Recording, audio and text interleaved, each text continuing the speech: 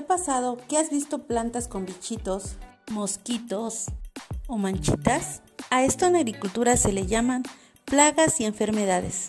Hoy realizaremos un biocida casero muy efectivo para combatir estas plagas y enfermedades. Para ello necesitamos chile, dos cebollas grandes y dos cabezas de ajo. Picamos los ingredientes y los colocamos en la licuadora. Agregamos un chorrito de agua y licuamos. Agregamos nuestra mezcla a una botella de un litro.